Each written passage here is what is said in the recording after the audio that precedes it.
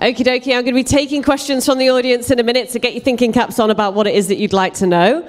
Um, but to kick it off, I'm going to ask you guys a question. Uh, so I think, like linking into Katelyn's speech tonight, we were talking about being natural, being yourself, people buy from people, the people you call in are just humans. So I want to get to know you guys on the stage. Um, please, can you share with us something that you do outside of work? Could be to do with a hobby or your mindset um, that helps you in work. So something that's going to reveal something about you personally that helps you in work. Um, one thing I do on a daily basis religiously is I'm not one of these people that wake up at five o'clock and go, you know, 5 a.m. club. But one thing I do try and do is at least go for an hour of outside, whether that's exercise of walking, running, biking before work. So that no music, no podcasts, you know, do listen to those, but yeah, just try and get outside for an hour to, to really start my day. Um, but that's what helps me. Same, to be honest. yeah, you're right. Uh, what I like to do sometimes is uh, go dancing.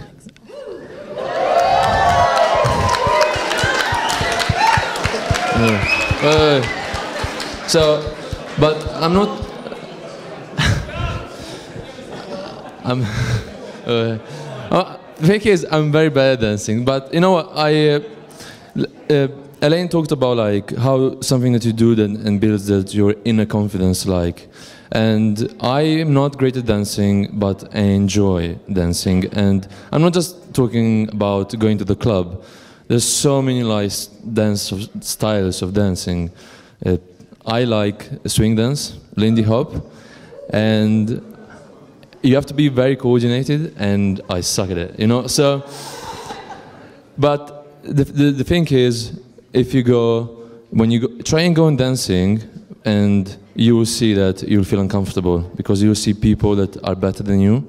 And if you try, you will see that you're going to build your confidence, your inner confidence, because you don't, you don't have to look at what other people do, but on how you can improve yourself. Yeah.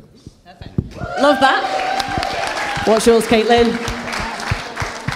So I would say having a good level of work life, social life, and relaxing time is really important. So I kind of have organized days where I know this is when I'm this is when I'm going out, this is when I'm seeing my friends, and this is when I'm having time to myself, just sitting down, and I think that really helps you to be refreshed for the next day and just ready to take on the day really. Indeed, got to schedule in those breaks when you've Yeah, got busy times. you do. So let's hear from you, Milly. Yeah, so I've um, actually competed in a strong women competition before. so, so I like lifting weights, and I think it's a big, big thing to do with your mindset. Like you can't really stand at a, hun- a bar with 150 kg on and expect to lift it if you're not in the right headspace.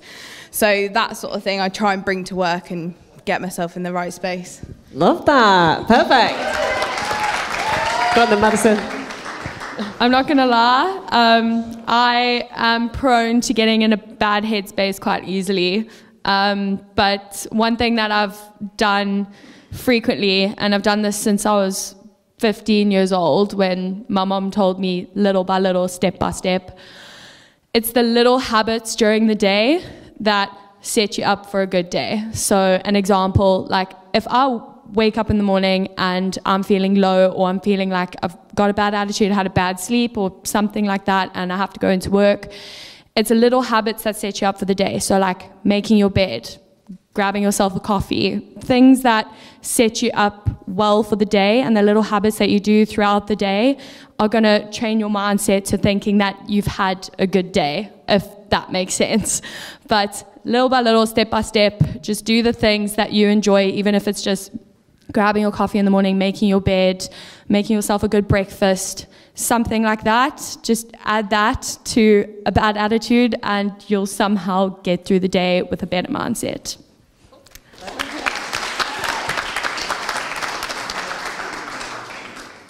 So something I do pretty religiously. It's a bit weird, but it's it's probably just me. Is I am constantly reading the news all the time, just constantly reading it. First thing in the morning. First thing in the morning. Last thing before I go to bed. Throughout the day, I'm getting notifications, looking at what's going on in various industries, technical advancements, all sorts of things, kind of knowing where funding's going and this sort of thing. So it gives me a great, great kind of stead when I'm, I'm starting to look at who to prospect, what's kind of going on in the world, and, and kind of looking at that sort of stuff. Is your boss in the room? no. There we go. He wishes. Um, in all honesty, Luca's favourite hobby is talking about his Audi TT. So, um, um, if I talk about myself, though, I'd say I'm pretty organised in work life, but my personal life is very chaotic. Um, go out a lot, probably too much. Trying to do some more wholesome things, walking, podcasts. That's probably my yeah my go-to at the moment. Cool, some top tips there. Thank you then, guys. So, questions from the audience. What would you guys like to know from the panel? Are you going to do the run round? Who's got the first question? First question. Where, where, where, where? Thank you. Hi everyone, my name is Shajid. Um, this question's for Alex. What did you do every day as an SDR to get to an AE position so fast? Thank you. Yeah, no, thank you. Uh, one thing I did every day to get to where I was was holding myself accountable by not pushing tasks the next day. So it's very easy to get caught up with, I need to do this, I need to do that, but oh, it's small, it can wait till tomorrow. One thing that I was quite religious on was understanding who I needed to reach out to, why I'm reaching out to them, and the timely manner. And I might be a tad controversial. Um, everyone seems to hype on about personalization, personalization, personalization. Don't necessarily think that's entirely true. I think relevancy is a lot more important. So Elaine, for example, you know, owns a recruitment company, can send me a fantastic email that Alex, I've got this great opportunity, earn this much money, blah blah blah. If it's not relevant to me at the time, if I'm earning more, if I'm not looking for a new job, I'm not going to take it. So one thing that Demandbase actually helped me do with our own technology is hold myself accountable for relevancy, for this is why you're reaching out to this person. Doing that consistently so that I'm then, you know, hitting KPIs, overachieving on them, earning more money, you know, as an SDR for going into accelerators, and yeah, so on and so forth. Thank you. Next question. Is that why you didn't reply to my email?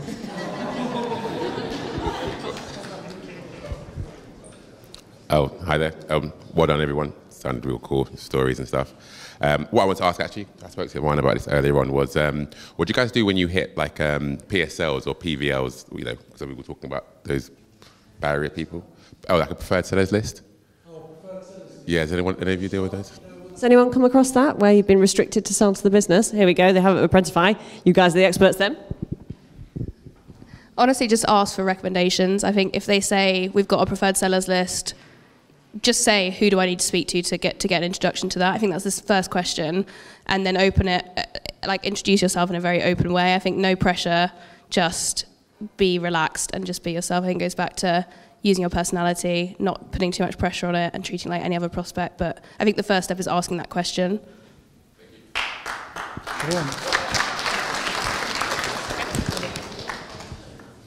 Hello, my name's Ernest, kind of like Ernest Jones the shot. Uh, I just wanted to know, like, how do you get past the nerves of cold calling?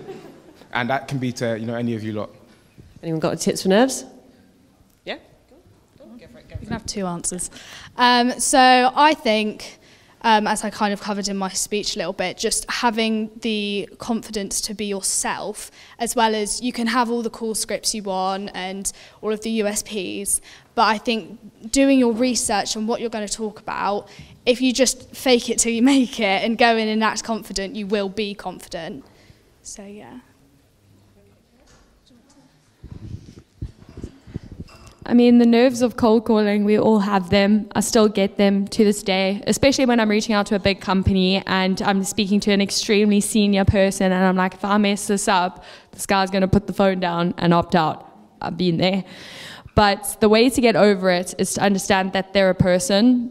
They got heart and lungs just like all of us. They've got a mind just like all of us. They were once where we are. So you got to remember they are real people. All you got to do is basically act like you're talking to an actual person, like you're talking to them face to face. And it's actually easier sometimes over the phone because you feel like you can't see their facial expressions. Of the facial, the facial expressions would make it way worse for me. But you just got to understand that they are a person and you're having a normal conversation just like anyone else. Thank you. Can we Just get- ring Paul tomorrow. He'll take your call. There you go. He'll be nice. Yes. Hiya. Um, so a lot of us are SDRs in the room, and one of the biggest things we deal with is obviously rejection. And I'd like to know how you guys kind of deal with the no's of every day, how you get past it, keep up the motivation to keep going. Uh, I laugh. Is the way I do it. If I get any kind of rejection, the first thing I do is try and disarm them, because typically there's a reason they're saying no to you. So if you ring someone, you know, and you sell a certain product, and they say, "Oh no, we've already got that," or "I don't want to speak to you," or "Go away," just kind of laugh and be like, "Well, look, I get it, but you know, are you happily married to that product, or are you? Is there someone else that's come? I don't want to quite Love Island. Is there someone else coming on that could be more attractive?" But I think the main thing to deal with rejection is laugh. Um, one of the things we do here is make it a game. So we have, oh, I can't remember the tool, um, but whenever someone books a meeting, we have, it populates in a Slack channel. Um, but then also we have a channel for, oh, I got hung up on, listen to this gong recording, listen to someone being rude to me, and then everyone then gives advice on, oh, look, I would have said this. I know it's so easy to say in hindsight, but if you're then able to say to them, oh, look, okay, they said to you, I'm not interested, instead of just saying okay, ask them why they're not interested. Or almost try and continue it, because I guarantee there'll still be a way in. You just have to be curious and keep asking why. I think one thing at Bigtincan we like is quite similar to what you said. It's just always challenging. Like, why are you so closed off? Like, what have you got that's so great? And also, just like almost desensitize yourself from the answer. Like, be ready for the yes, be ready for the no. Like, the next call you can make, you could book in a meeting and it could be the most amazing opportunity for your A or whatever. But it's not life or death. Like, it's calls and we're in sales and you will book some more meetings. It's not the only call you're making that day. Agreed. Good answers. Can we get someone from the back? Can I get some ladies? Are any l- females that want to ask a question? Go ahead. Thank you. Do I need to stand up? Okay. Hello, Emily from Venetrix. So I want to know, in terms of outreach, where have you seen your most success, and what's the most creative piece of outreach you've ever put out?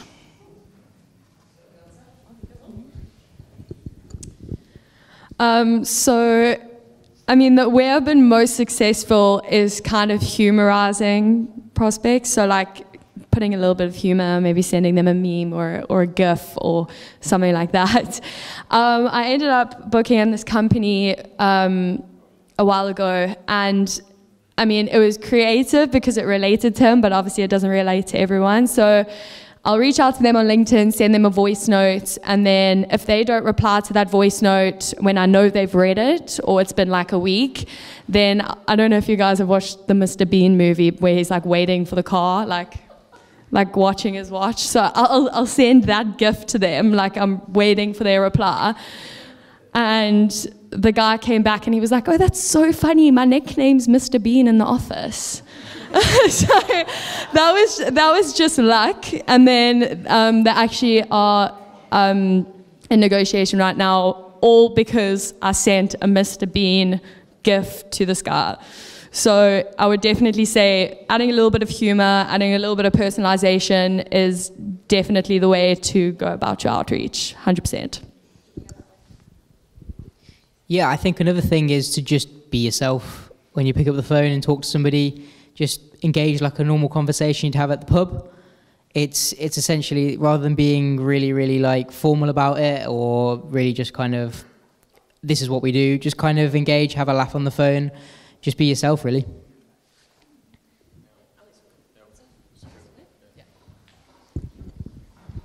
Um, I think one of the most successful ways SDRs at Demandbase have success or book meetings um, is via email, surprisingly, as well as LinkedIn.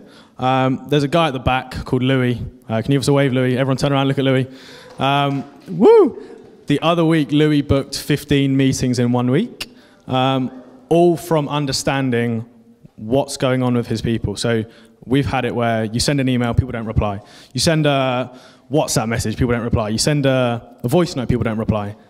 Sending a screenshot of them actually being on your website, not their face, but what they've been viewing. So here's Elaine from Venetrix, she's been viewing this certain page, sending it to them, being like, I know this is relevant. Why not now? Is there something I've done wrong? Have I, you know, do you want to speak to me next week? Is this now a bad time? Really works, actually calling out what they've been doing. Um, but yeah, that, that still works for me now as an AE too. Amazing. So, um, final question. It, it, I know there's a lot of SDR leaders in the room. If there's an SDR leader and you want to ask a question, go ahead. Um, so hi there. So we've recently built a new in-house SDR team. Is there one thing that you'd wished your organisation had done or your sales leaders had done to help you set you up for success that we can learn from? Got one for that? Quite brief, but I think for me, it's kind of almost not focusing on the numbers. Like, I don't need, personally, don't need to be told to make 10 more calls a day, but I really need you as a manager to enable me to feel more confident on my calls, listen to those calls and do those role plays and sort of help me to speak more naturally about that. So, almost we like every person in this room knows that if you make more calls and send more emails you will get more meetings adding value and providing value in the, that outreach, that is what's going to make the difference, I think. I'll continue. Um,